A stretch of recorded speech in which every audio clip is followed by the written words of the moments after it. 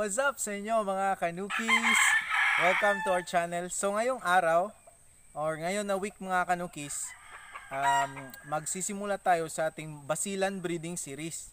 But before tayo magsimula sa ating vlog ngayon, sa mga kanukis natin na nasa lanta ng bagyo, so keep safe kayo dyan always mga kanukis.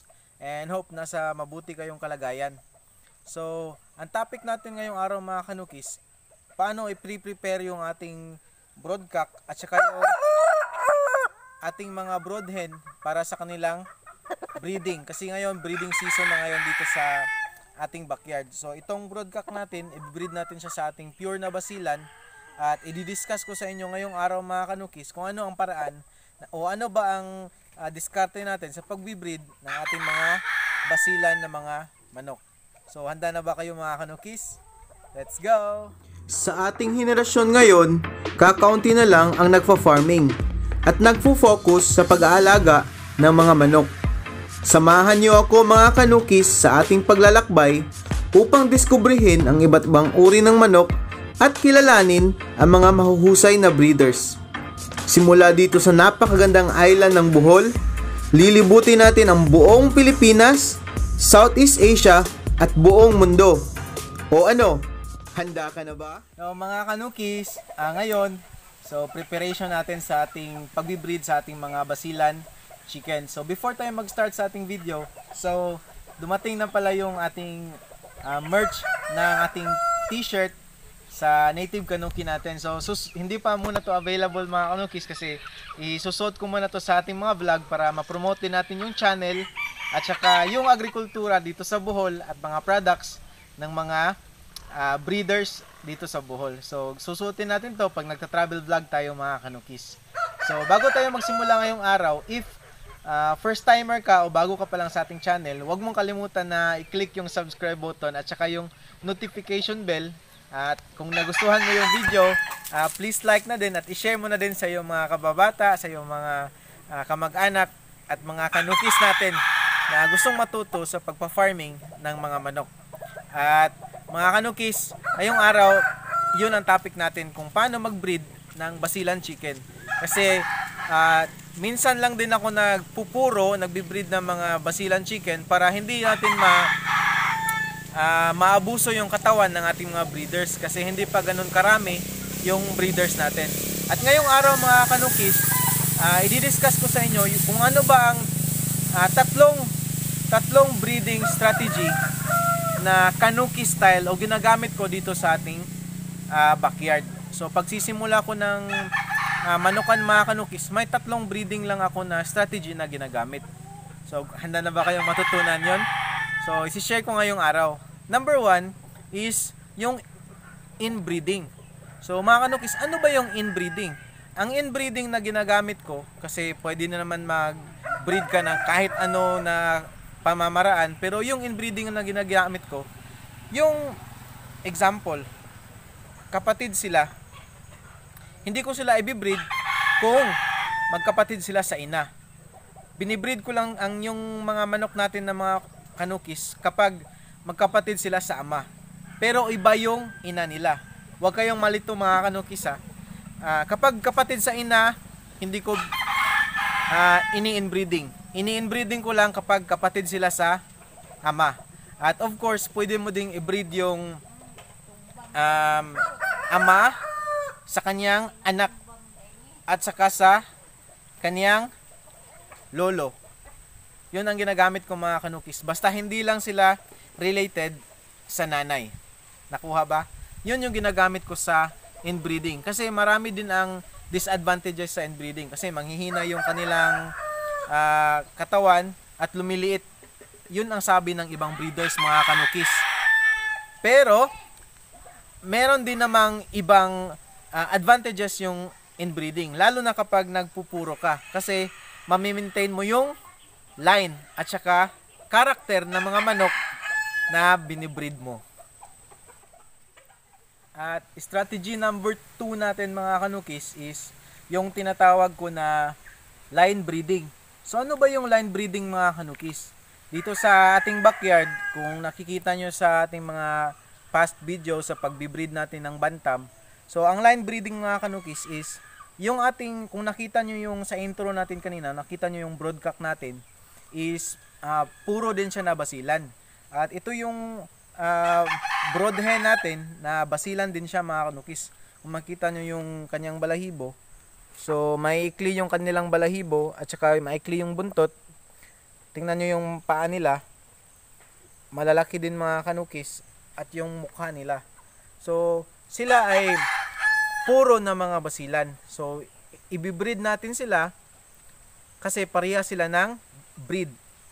At tinatawag ko yun na line breeding kasi hindi sila magkaiba ng um, bloodline pero hindi sila related sa dugo. Kasi magkaiba din yung inbreeding. Yung inbreeding, yung related sila sa dugo, sama.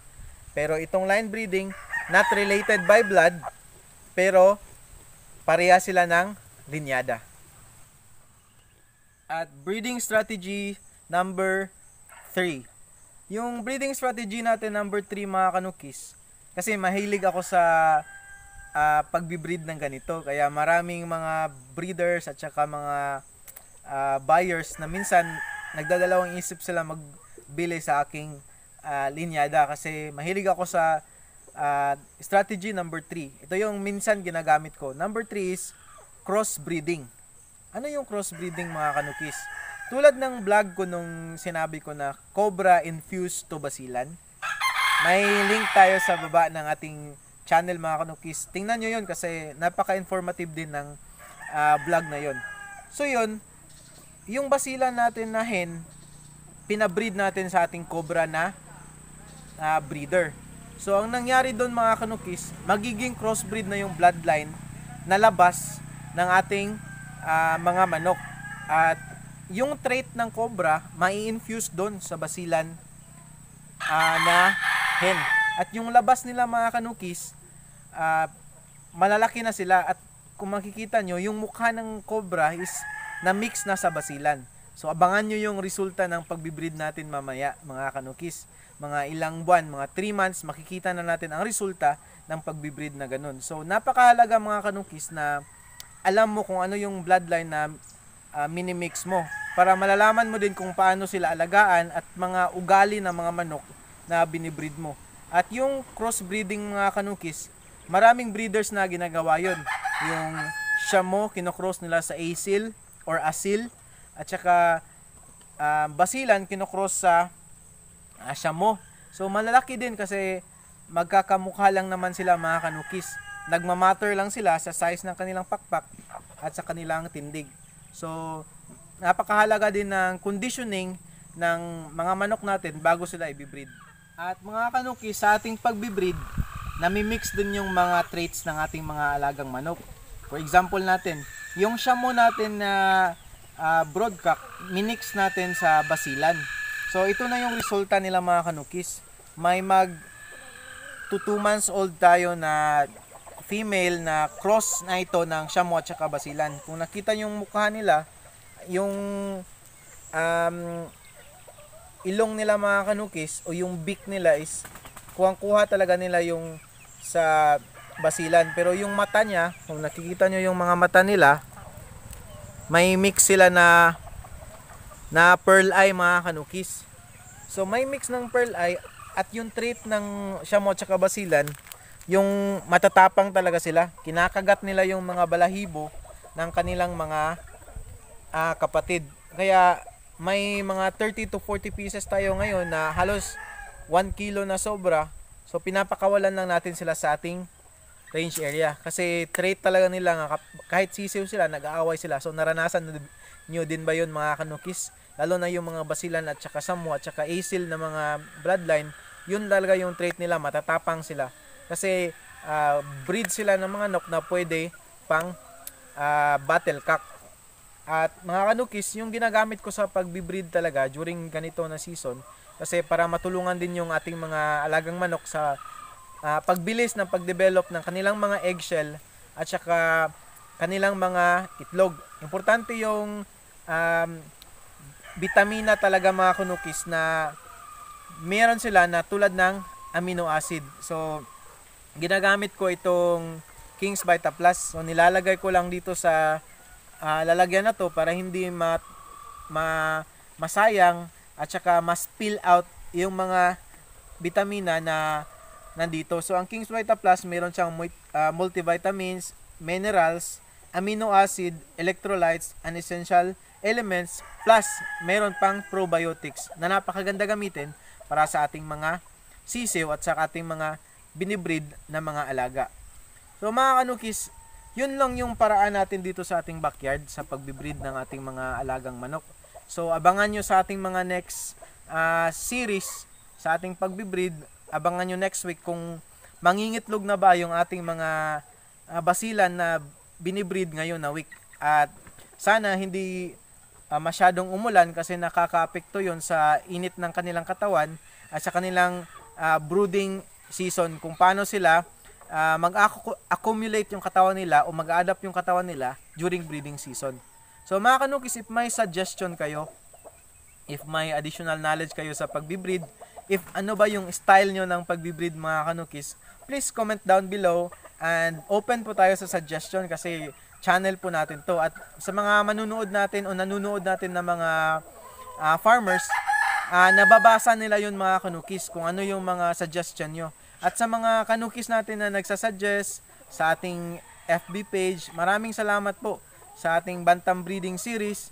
So, um, ipina-priority talaga natin na makakuha tayo ng mga pure breed na mga linyada. So ngayon, yung ating banta, minimix, crossbreed muna sila ng chabo at saka um, micro bantam na Japanese micro bantam. So kung nakikita nyo, maliliit sila at gusto nating mapalabas yung short leg na attribute o trait ng chabo. So mga kanukis, maraming salamat ulit sa panunood sa ating channel. Alam ko na palagi kayong sumusuporta at if kung gusto nyong maka-acquire ng ang merch natin na t-shirt ng ating Native Kanuki, antay lang kayo, magpo-post kami kung kailan na siya available. At maraming salamat din sa ating Kanuki na ah, si Sir ah, taga Dimyaw. Sir, maraming salamat. I-reveal natin yung pangalan niya kasi bibili siya ng ah, trio na bantam. So, ipopost natin dito kung ano yung name niya mga kanukis kasi bibili siya sa atin ng trio na Japanese bantam. So, isi-ship natin yan bukas. Iba-vlog din natin yan mga kanukis. So, abangan nyo along this week kung sino ba yung ah, tao na bumili sa ating trio na bantam, Japanese bantam. At mga kanukis, sa mga nasalanta ng bagyo, ingat kayo dyan palagi. Sana healthy kayo. Yung mga alaga nyo, alam ko maraming nasalanta na mga farm, lalo dyan sa Cagayan ah, Valley. So, we pray po na always safe kayo, makabangon kayo, um, mabilis. And we pray that God will uh, increase your um, emotional health and even financially makabawi kayo uh, ng mabilis. At maraming salamat sa panunood mga kanukis. Hope na may matutunan kayo ngayong araw. Alagaan yung mabuti ang inyong mga alaga. Mahalin nyo sila kasi mamahalin din nila kayo pabalik. So this is your native kanuki saying, Happy farming everyone. Keep safe always. Peace, love, signing out for now.